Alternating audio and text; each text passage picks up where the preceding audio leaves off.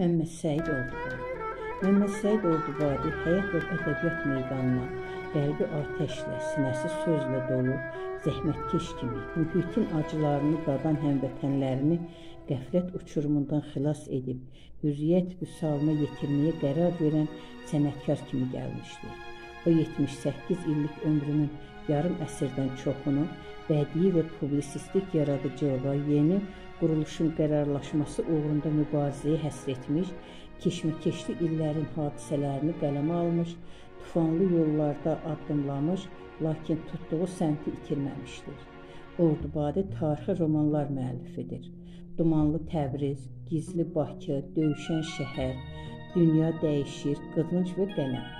Ordubadi ədəbiyyatın bütün növlərində yazıb yarasa da, bu romanları ilə daha böyük şöhrət tapmışdır.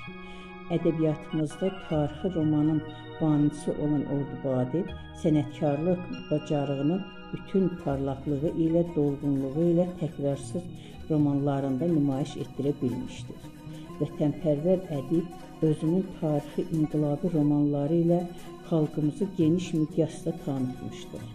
Ordubadi bütün zəngin yaradıcılığında xalqımızın tarixi keçmişini, qəhrəmanlıq səhifəsini, inkişaf və azadlıq mübarizəsini ardıcıl olaraq təbliğ və təsvir edən bu sahədə misilsiz nailiyyətlər qazanan sənətkarlarımızdandır. Ordubadinin əsərləri, şeirləri, felyetonları və məqalələri xüsusi təsir qüvvəsi kəşf etmişdir. Çox zaman onun bir qəzet və ya jurnalda dərc olunmuş əsərini başqa mətbuat orqanları götürüb yenidən çap etdirdilər yazıçının zəngin ədəbi irsi içərisində dünya ədəbiyyatından etdiyi tərcümələr də müəyyən yer tutur.